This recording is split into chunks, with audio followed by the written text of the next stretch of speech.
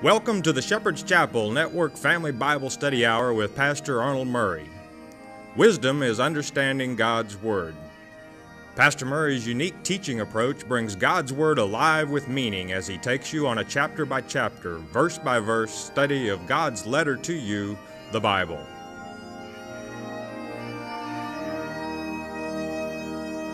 And now here is Pastor Arnold Murray. Good day to you. God bless you. Say, welcome to the Shepherd's Chapel. Welcome to this family Bible study hour, ready to get back in our Father's Word. There's a possibility we'll complete this book of Hosea, meaning salvation. As we as we uh, completed the last lecture in chapter 12, uh, verse 10, remember what it said? God said, "Hey, I sent you types. That's to say, similitudes of exactly how it's going down." You know, and what has been is going to be again implied. So you need to keep your head out of the sand and watch what's going on, because I warn you through the prophets, and uh, you need to pay attention.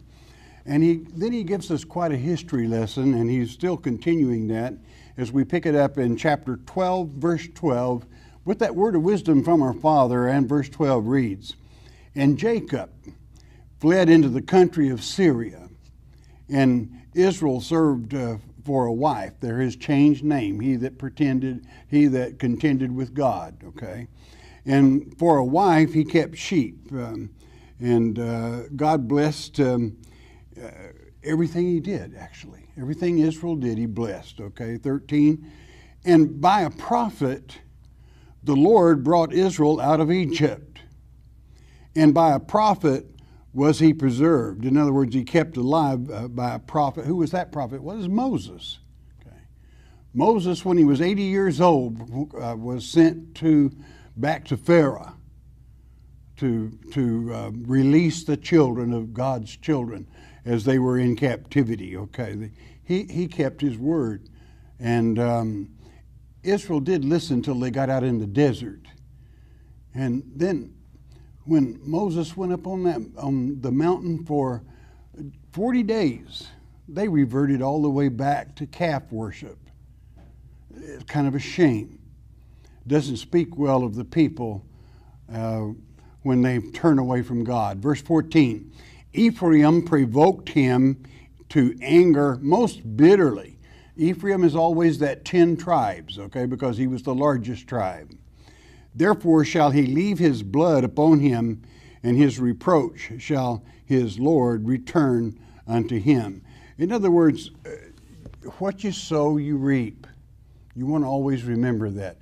What God has said in this chapter is hey, I've sent you the word, I've sent you prophets, I've, I've given you types to go by as to what happens to a people if you do thus and if you do thus you, you need to pay attention or you're going to pay the price, okay? And, and so it is even to this day. You sail your own sh- Christian ship. If you put her on the rocks, hey, tough luck for you, friend. Don't try to blame it on God or anyone else. You were the captain.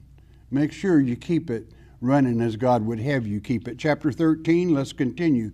When Ephraim spake trembling, this, this is when, when Ephraim in the Hebrew spoke with authority, he exalted himself in Israel.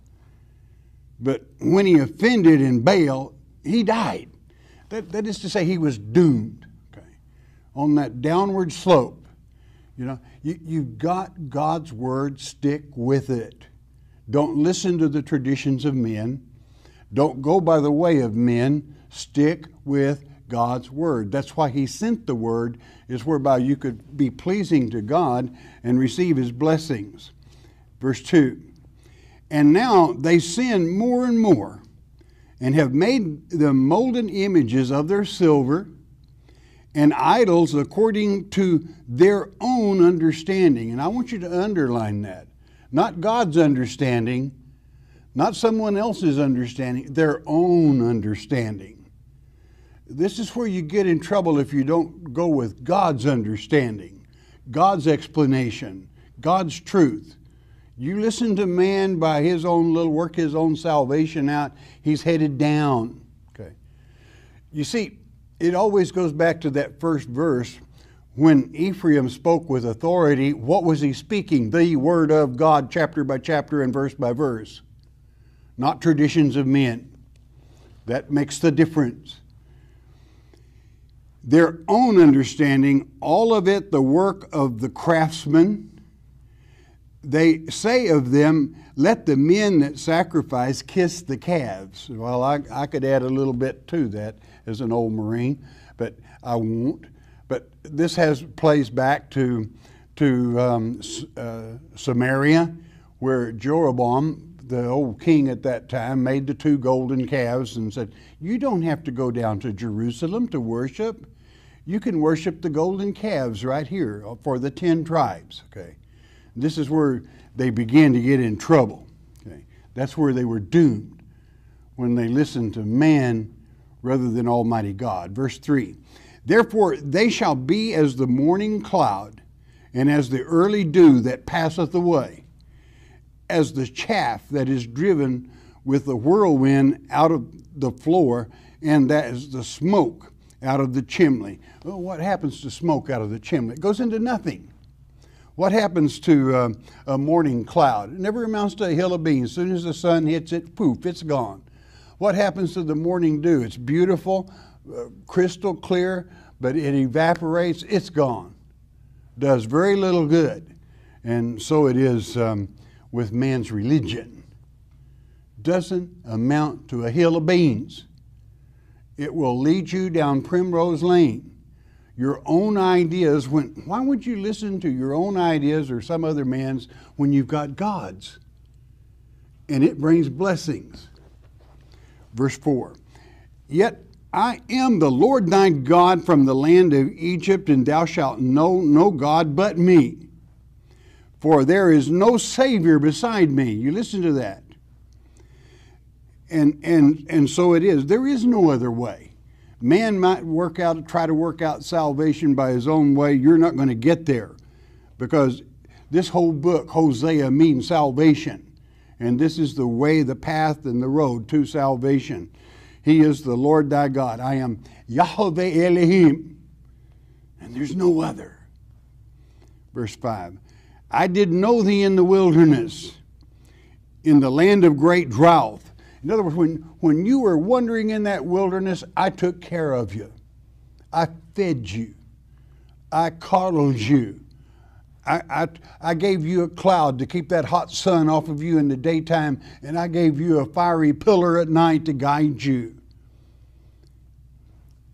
And they still, he says, what he's saying is, I took care of you.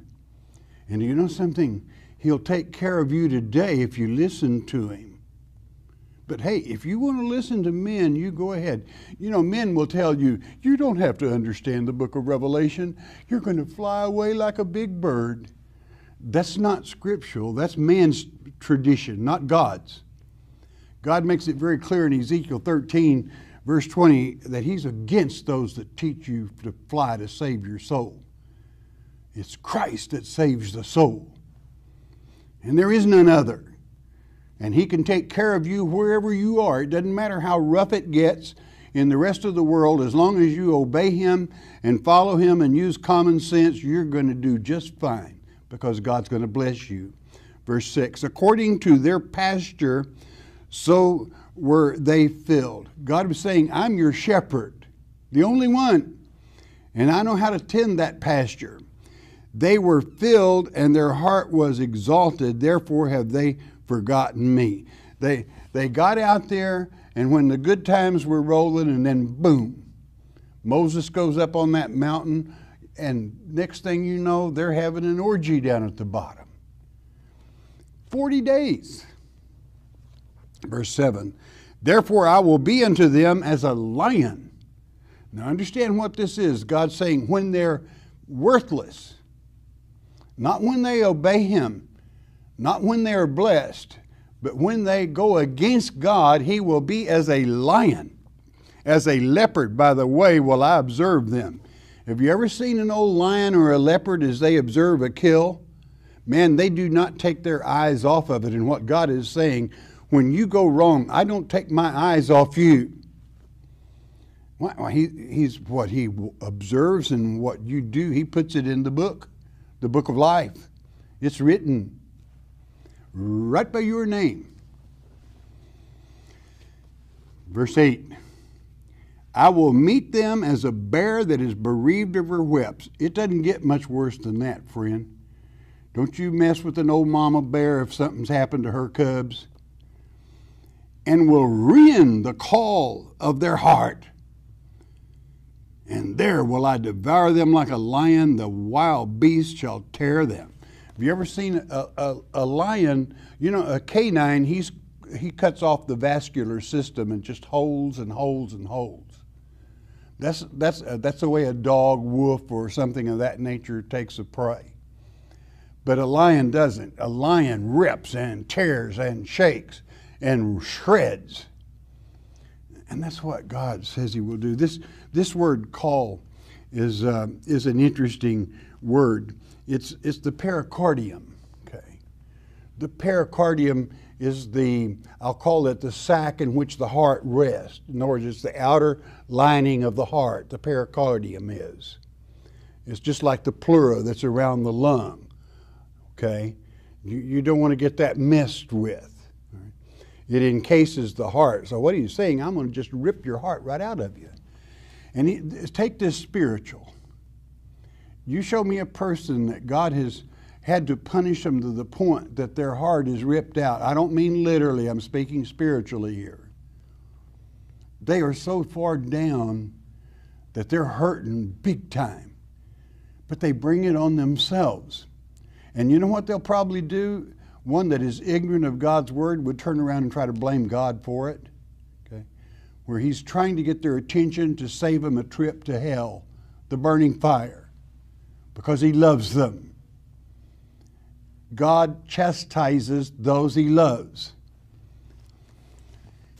That's a little severe when we get down to the caul or the pericardium, right to the center of the heart. That's life itself in the flesh. Nine, O Israel, thou hast destroyed thyself, but in me is thine help. Don't ever, ever, ever forget that. Okay. Israel, that Thou hast destroyed thyself, but in me is thine help. To return, repent, come home. Prodigal son, make your way back okay, to our Heavenly Father. He's a forgiving Father, and He's a Father that loves His children. Verse 10 I will be thy king. Not some man, not Saul. Where is any other that may save thee in all thy cities? There isn't and thy judges, of whom thou saidst, Give me a king and princes. God allowed it because God wanted to be the king. But oh no, they wanted somebody they could touch. 11. I gave thee a king in mine anger and took him away in my wrath. And uh, I mean, he was a madman. And poor little old David, I mean, he about slammed, pinned him to the wall with a javelin. 12. The iniquity of Ephraim, the sin of the ten tribes is bound up. His sin is hid. What is God saying here? He says, I've got it in a bag. What he means is it's written in the book. Got every line of it. It's, it's hidden from sight of most, but I've got it. I know. I'm observing, I'm watching, and beloved, he does watch you. He knows you. Verse 13 The sorrows of a travailing woman shall come upon him. He is an unwise son, for he should not stray long, stay long, rather, in the place of the breaking forth of children. In other words, this, this is kind of a play, and it's said in a sense in irony, but it's saying we've got the birth of a new age, and he doesn't want to break into it.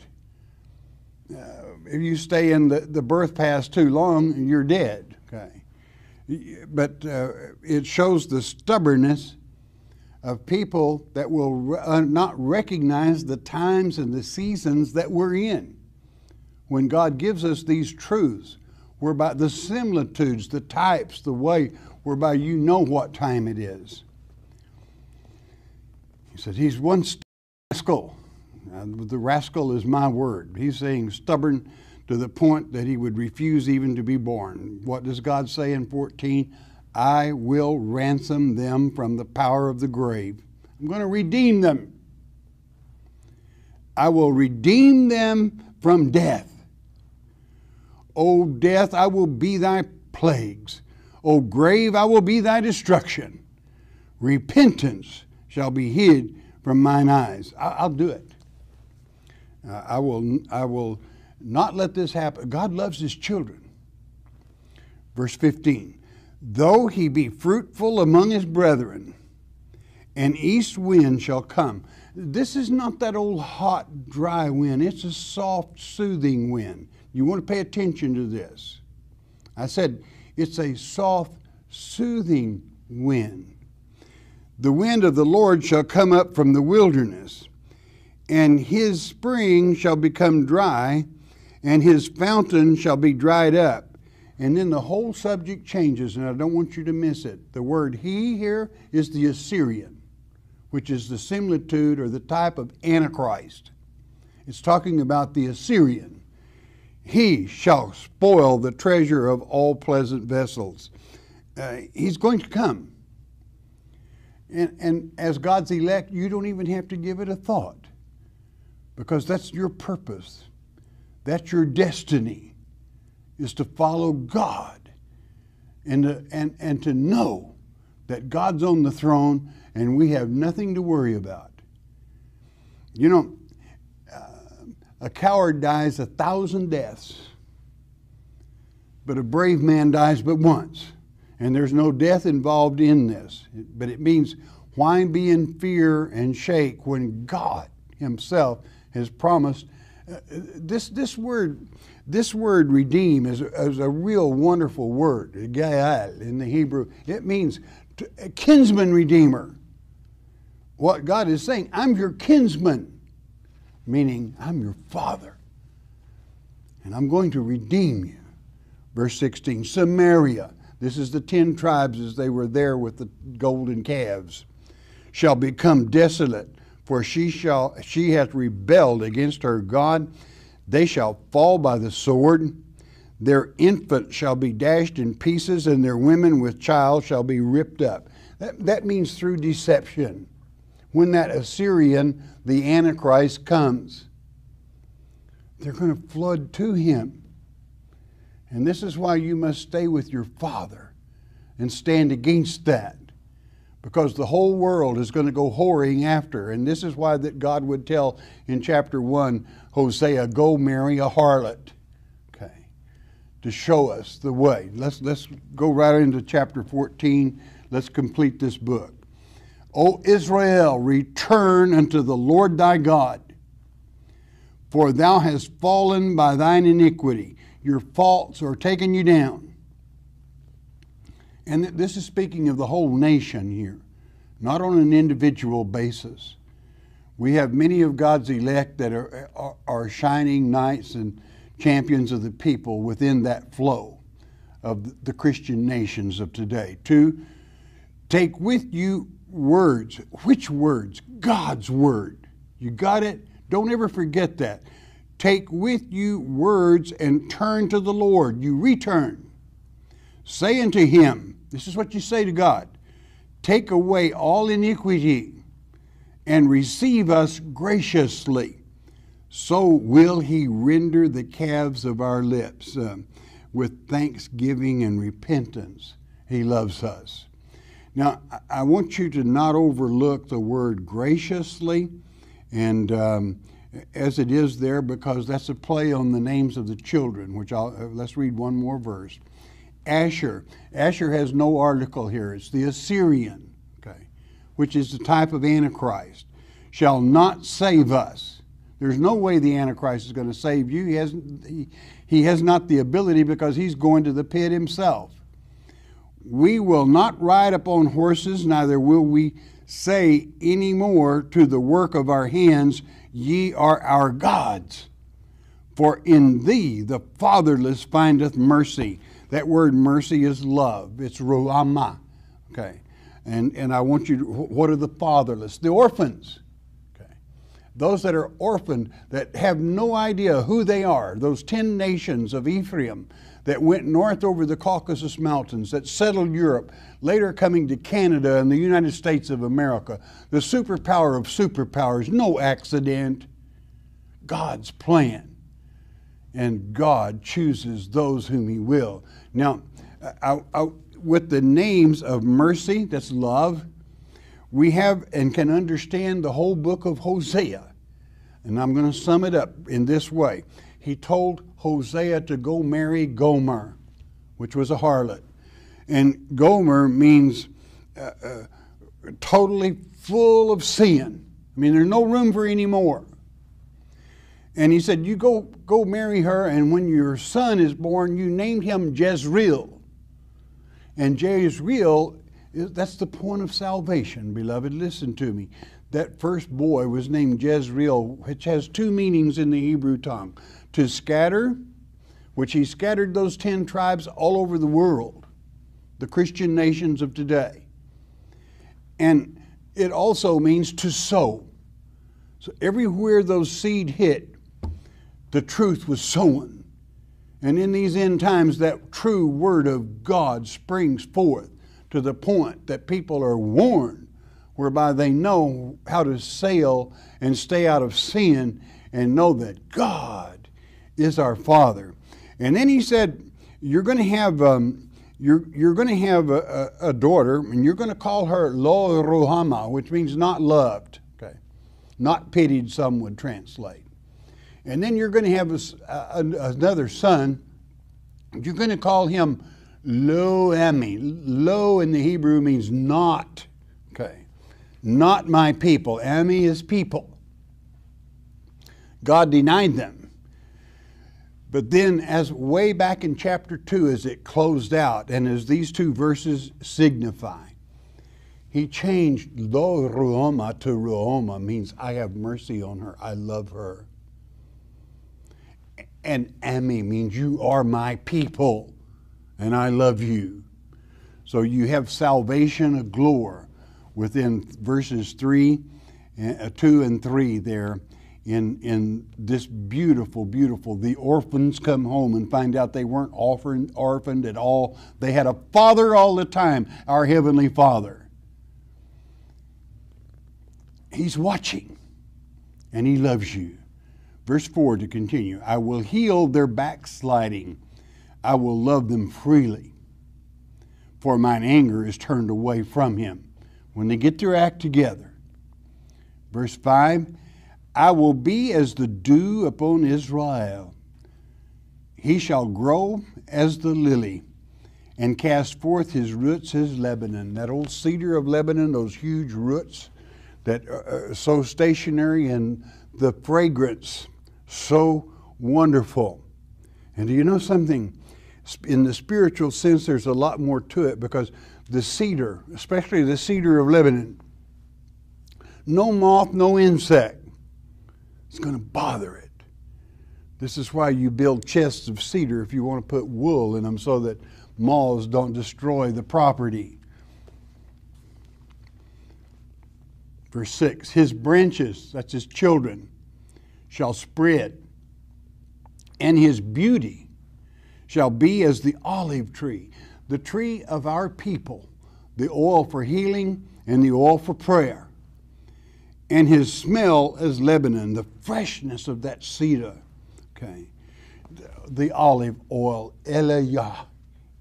God's names. El is and Yah, which is Yahweh. That, that's, that's, that is when I, what am, well, what are you saying, El uh, Yah? It's olive. okay. The olive, when you anoint someone with it, it does not heal, but it is your obedience to God to use that oil. And then God does the healing.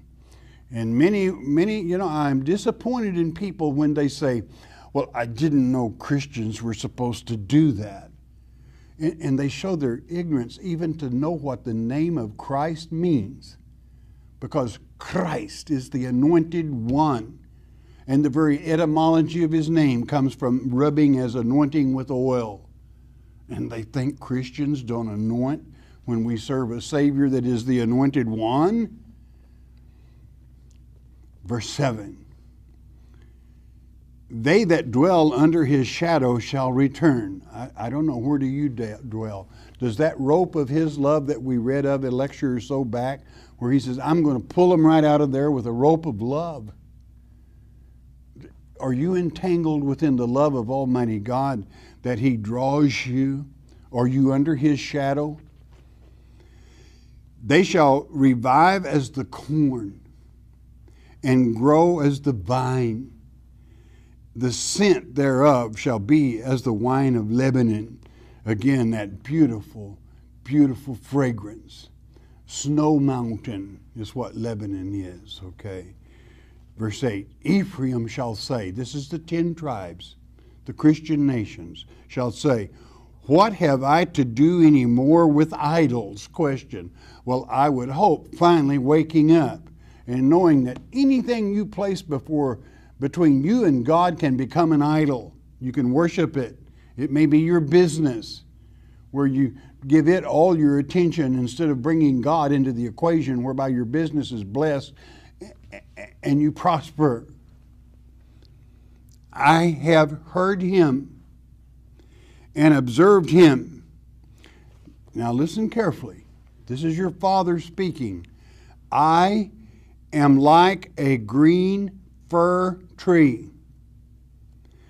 From me is thy fruit found.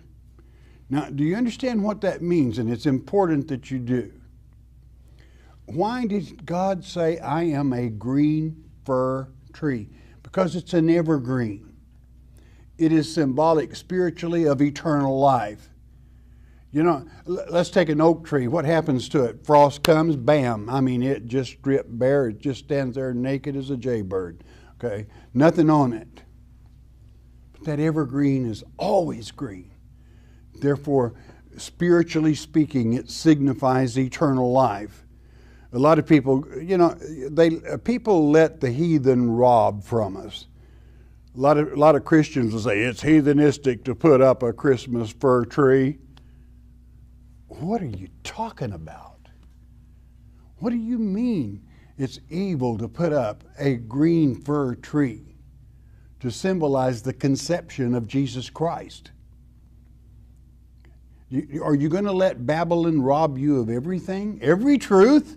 without understanding God's Word? I think not. God saying, I am like a green fir tree because it symbolizes, it is the similitude, it is the type that is symbolic of eternal life. You don't worship it, but you worship God. And you listen to Him and you follow Him it is no different than we use the oil. We don't worship it, but we use it in obedience. Verse 9 Who is wise? Well, that's a good question. And he shall understand these things. Well, why, how would a wise one understand these? Because he listens to the word. He picks the subject and the object and he sticks with it. Why? Because it is God that declares the subject. It is God that declares the article. It is God that declares the, the object. Therefore, you have clear understanding. If you get some one verse revolving rev that just picks a little verse here and a little verse there, you have no idea what the subject or the object was that it was taken from. But don't worry, he'll, he'll put a bunch on it He'll lay it out for you, but it may be foreign to what God said. That's why it's so important to be wise and listen to God. He said, I was their shepherd when they were in the wilderness. Is he your shepherd today? Is that rope of love cast out there to lasso you into his service, his kingdom, eternal life? And he, that fir tree that that, that, that is symbolic of eternal life. Never, never uh, dying, always green. Who is wise and he shall understand these things? Th- that's a statement. not maybe, not perhaps. A wise person will understand these things, prudent, and he shall know them. In other words, um, our Heavenly Father will always share. This means gifted, even if you would. God gives this gift of knowledge and understanding to those that uh, will uh, partake of the gifts that God gives us. The truth, the Word of God. For the ways of the Lord are right, not left, not somewhere in between. God's ways are always right. You can count on it. And the just shall walk in them. The just are the upright, they, they are God's elect. You're going to walk in the paths that God sets forth because you wouldn't want to be caught somewhere else because you love Him.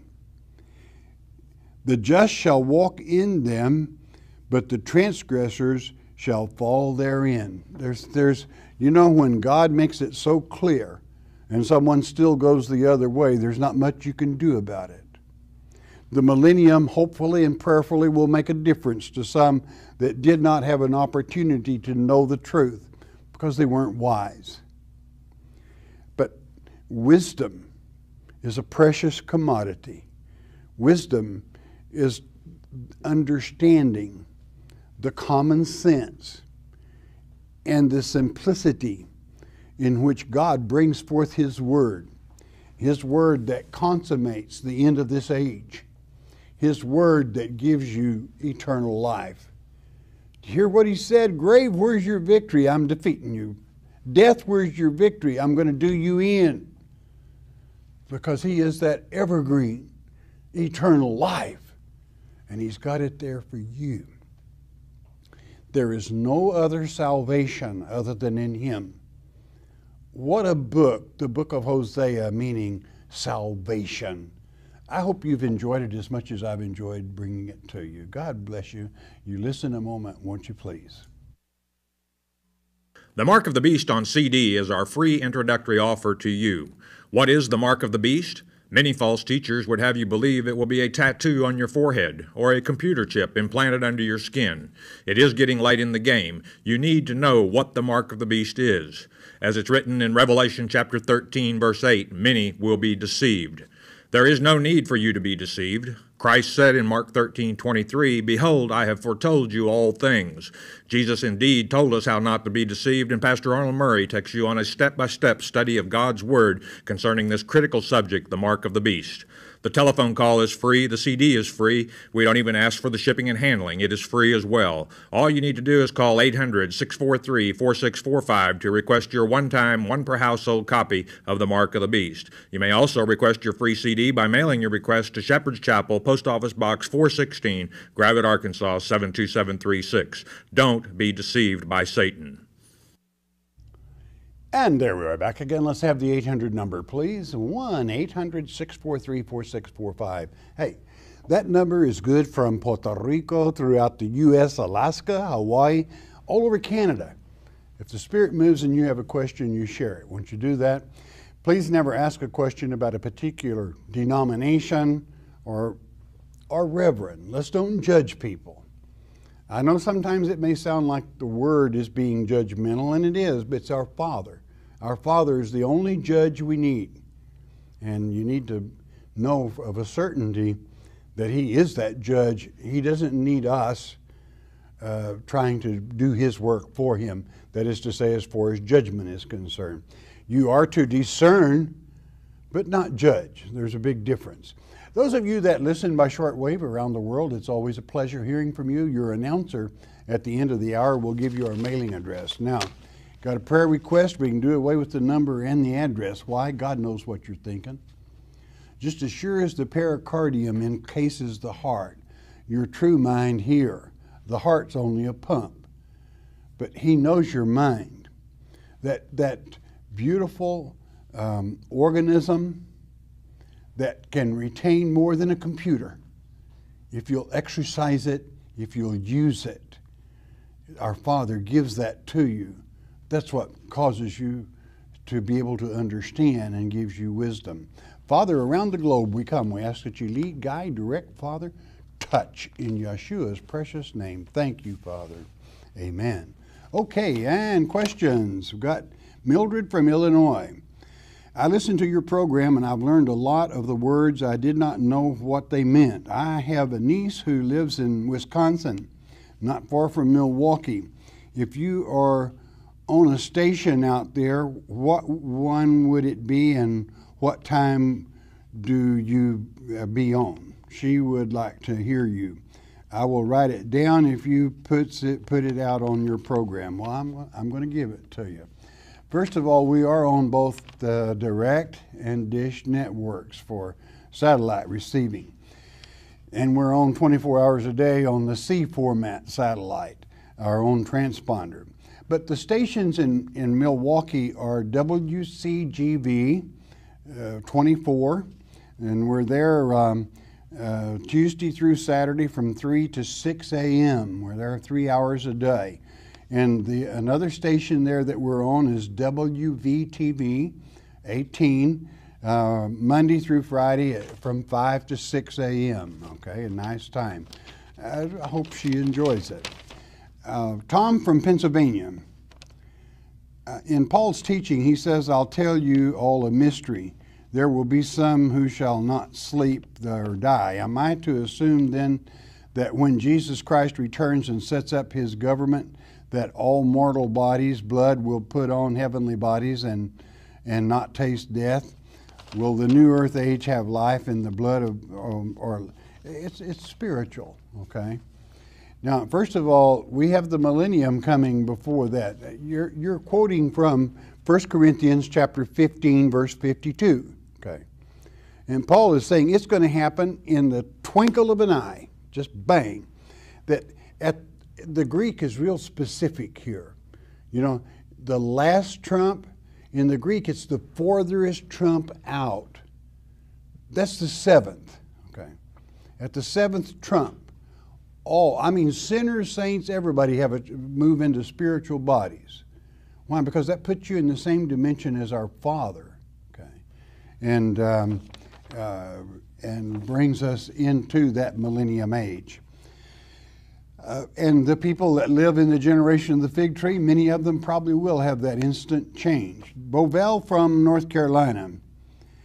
No one remembers the world before this generation. That age was blotted out. For this reason, man cannot conceive an age before this.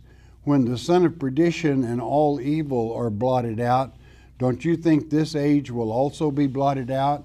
No, I, I don't think so. It isn't necessary the evil, um, all, uh, and I'm going to give you a documentation, okay? In 2 Peter chapter 3, verse 10, uh, it makes it very clear that, the, that this earth age that we're in now, that it will be destroyed with a terrible heat. But it says, doesn't say world it says it says that the elements will be destroyed. This word elements is rudiments. The Greek word is stoicheion. What it's saying is all the bad will be burned up, not the good. Okay. This is why the Shadrach, Meshach, and Abednego were in the fiery furnace, seven times hotter than necessary. And Nebuchadnezzar looks and he says, Well, I see, how many did we put in there? I see four. One is the Son of God. And they weren't even singed. You see, God knows how to take care of his own. And that's why that incident transpired, is so that we would know that only the bad burn, we don't. Okay? The bad elements, the rudiments, the stoicheion. Okay? Uh, your documentation again, in case you didn't catch it, 2 Peter chapter 3, verse 10. Uh, Eddie from Texas, thank you for teaching the Word of God. You are welcome. I have learned a lot. I have a question. How and why does an evil spirit get into your body? Please pray for me and my family. We can do that, Eddie. An evil spirit cannot enter your body unless you allow it. Okay as it is written in that God gives us power over all of our enemies. In His name, of course. He gives us power over the serpents, the scorpions. He gives us power over all evil spirits. They are subject to us. In the name of Jesus Christ, we use authority. And they run from us. They're afraid of us because it means death to them when we order them back where they came from. So they want nothing to do with the man of God. So you don't have to worry about evil spirits. They, they enter because people allow it. Many times you can you take um, a lot of people don't know it. Do you know why that the old bottle is called a bottle of spirits? But if if you don't know what you're doing, and and you're um, you have that old disease called uh, alcoholism, there's all kinds of spirits in that bottle. And they will take you under. Okay? They will weaken you to the point that you'll invite him in. And many times you can have a good old buddy that can, I mean, he's loaded up with a whole six pack of demons. And you say, Come on in, good buddy. You invite him into your home. Uh, you see, you need to anoint your home and declare nothing evil, cross that threshold, that doorpost with the blood of the Lamb on that door. Okay. And um, you need to take authority. They have, they have to obey you. Frank from California. Did Jesus Christ go down to hell and preach when he went to get the keys of hell during the three days he was uh, considered dead?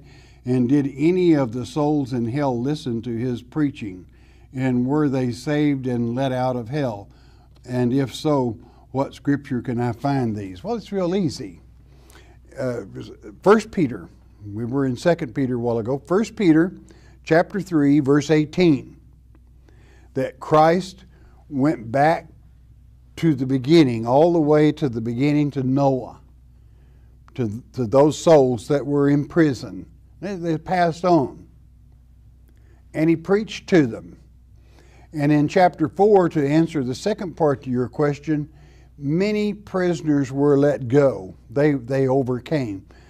You, you have to understand, our Father loves all of His children, and God is always right. We read that today. Let me, let me tell you a, point of wisdom.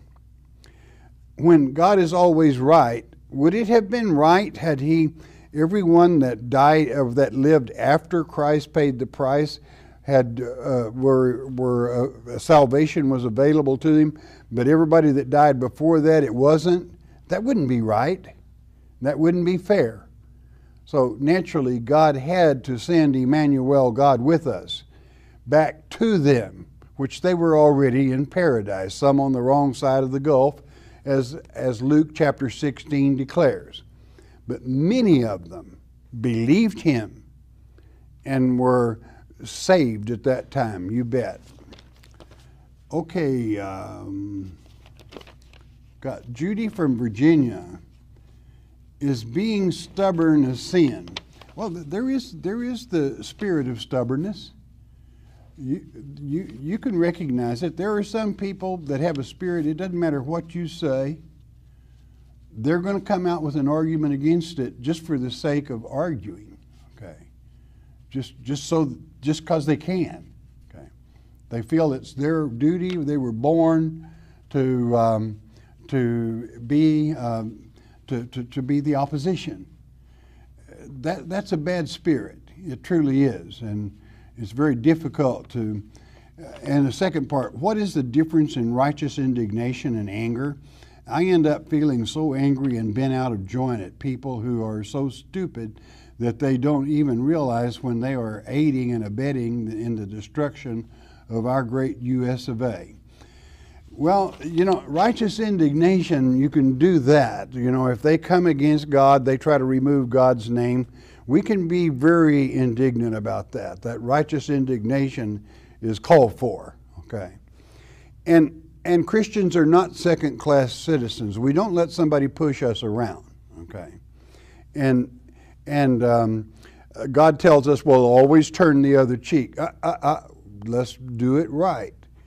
You only turn the other cheek if you were talking salvation to someone, this is what God was Christ was preparing them for, and you overload his donkey with real truth, and so usually let, us just use a little um, analogy here. Let's say that you went up to some preacher and said, "You're you're lying when you teach your people that the rapture is going to happen because it's a lie." And he reaches out and taps you on the face. Then you turn the other cheek because you overloaded his donkey. Okay, you shouldn't have done it just in that way. Okay, you, you, sugar will catch a whole lot more flies and bad preachers than just whatever. Okay, now so that's when you turn the other cheek. But if somebody, if that same preacher comes up to you on the street and for no reason pops you one, you deck him. Okay, I mean you you knock him down and educate him. He needs an attitude adjustment. Okay, so you give him one, and, and then pray for him, of course. All right, as a good Christian would, and. Uh, you know what'll happen next time before he walks up and tries to pop somebody? He's going to say, "Whoa, uh, that doesn't pay dividends." Right? God, you got to do what's right. Karen, and Karen is from. I'm not sure where Karen's from. It doesn't say. Okay, let's see what. I am a 60-year-old grandmother. Your site on the computer with the books of the Bible is just such a blessing. You see, my grandson will do studies with me in the evening. My health just won't let me get up always. Please let it on the air. Well, it, we're, we're going to leave it there, dear. It's going to stay. You see, my grandson was stuck on drugs so terrible. Now he says, Come on, Mima, I, I need a Bible study with Pastor Murray. God bless you and your sons well, and staff. Well, thank you, dear. You don't you worry. We're going to, as long as God allows, we're going to have that. We're going to have the programs on the computer, as well as on television, as well as on satellite. God sure blesses us. We we we thank our Father for it. Uh, Rodney from Michigan.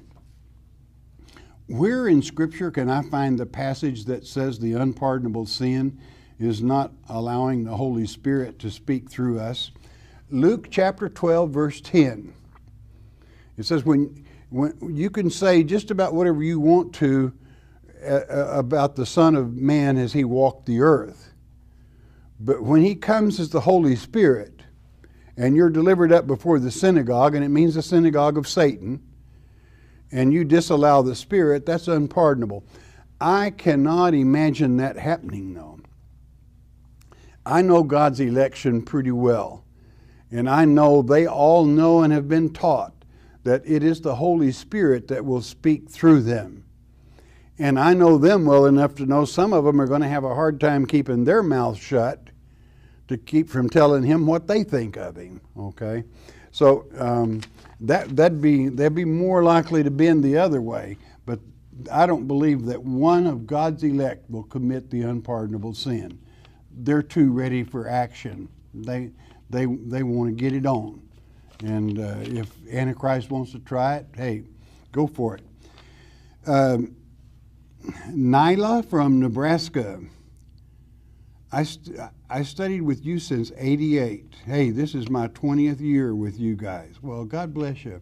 I still can't understand why Jesus prayed for the cup of wrath to be taken away from him. I understand it this way Jesus was God in flesh, was all knowing people's minds God's plan, had no temptation since he knew the whole story. Was this so we could see God's compassion for us and his wish that he wouldn't have, have had to do it? I've studied and prayed on this so often all this time, it's time to ask. Well, I'm glad you did. Uh, you, do you remember in Mark 13 where Christ said, No one meaning himself, knew when the instant that the end would happen would come, only our Father in heaven. So you see, even though Emmanuel was God with us and the flesh became, the Word became flesh and walked among us, there was still a division there, okay? And, and naturally, Christ being the loving Savior that He was, was hoping that that prophecy in Jeremiah and Isaiah concerning the cup of wrath, that there would be an easier way we could convert the people without uh, destroying the rudiments and many of them along with it in flesh bodies to get them to wake up spiritually. Okay.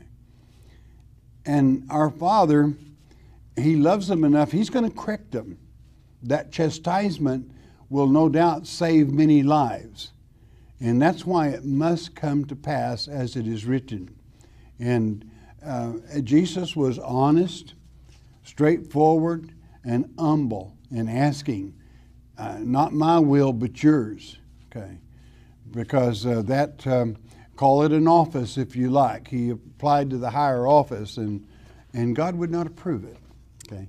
The cup of wrath is going to be poured out but those that love God do not have to worry one iota about it. It will not touch you, even if you're right in the middle of all of it. Okay? I hope that helps. Brian from Wisconsin. I really enjoy your Bible study, Bible study because I get around so good. I don't get, I can't get around so good to go to church, and I, I have multiple sclerosis. Well, God bless you. where in the Bible does it talk about the three earth ages? Before Noah's flood, one, and the present age, two. Where's the third one? Where does the dinosaur fit into this? I've read about it in Job. It was in the first earth age, okay? The dinosaur was in the first earth age, the behemoth, as Job mentioned. I never was taught that in the 50 years about the three earth ages. Well, I'm sorry you weren't. But to not know about the three earth ages is like having a set of blinders like on an old horse where you can't see what's happening out on beside him. Um, you can read of the three earth ages. Uh, we've already talked about it once today. Second Peter chapter 3 speaks of all three of them. Same earth, but different ages. Same heaven, but different ages. The word is eons in, in the Greek, not world. Okay. And um, it speaks of those three earth ages. If you want to know what happened to the first, you can read of it in Jeremiah chapter 4, beginning with verse 18, where God says, My people are just a little bit sottish, which means my, my poor children are just a little bit stupid, all right? And there's nothing wrong with that word, it simply means they don't know. And just like you say, in 50 years of church going, you hadn't been taught the three earth ages, and that's really sad. It really is sad because that's the beginning of seeing our Father's overall plan of salvation. And um, our Father certainly loves us. I hope that helps you. Uh, incidentally, if you have a companion Bible, Appendix 146 goes into details on the katabole, which is to say the overthrow of Satan, and speaks of the floods of the earth age. Alan from Virginia. Thank you for your special insight into God's Word. Well, you're welcome. My question concerns the kings and queens of the ethnos. Could those living now be direct descendants, but not necessarily royalty themselves? We're, anyone that loves our Father and is of the ethnos, the kings and queens, they're children of God. That uh, makes them God's elect. And, and the royalty of God's house are servants to all. Okay. In other words, when, when God elevates one, you become a servant to all. That means you're going to teach, lead, guide, direct, and allow the Father to use you to help the very least, we'll say, on that totem pole. So, really, the kings and queens is only a term that means they are the leaders in the third earth age, as it is written in Revelation chapter uh, 21, verses 20 through 24. Okay? In other words, they have their own kingdoms aside from the kingdom of God, but they come to God to worship. Barbara from North Carolina, let, let, me, let me say something.